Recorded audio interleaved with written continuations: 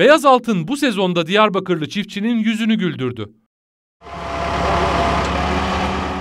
Pamuk tarlalarında hasat telaşının devam ettiği Diyarbakır'da yüksek rekolte ve iyi fiyat üreticileri memnun ediyor. Bu sene e, pamuk hasadı maşallah iyi. Meyvesini almaya başladık. E, o konuda gayet mutluyuz, sevinçliyiz. Çiftçilerimizin yüzü gülüyor. Fiyat konusu da iyi bu sene. E, o da e, maşallah e, ve her e, gün artıyor. Fiyatlar da artıyor. Bu da bizim e, lehimize. Tarım ve Orman İl Müdürü Mustafa Ertan Atalar, il olarak kuraklık nedeniyle hububat ve bakliyatta sıkıntı yaşadıklarını fakat pamukta iyi bir sezon geçirdiklerini söyledi.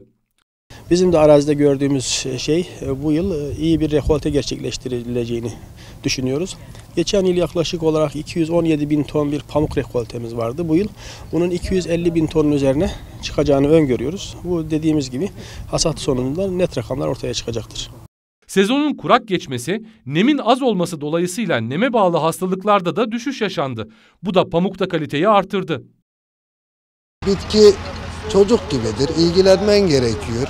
Toprağın altından girdikten ta toprağın üstüne çıkıp beyazlaşıncaya kadar sürekli beraber olmak lazım. Sürekli içinde dolaşmak lazım. Sürekli kendisiyle tarlanla haşır neşir olmak zorundasın. Verimli geçen sezonlarla birlikte kentte pamuk ekim alanları da her geçen yıl genişliyor. Çiftçiler teknolojiyi de üst seviyede kullanarak tüm üreticilere örnek oluyor.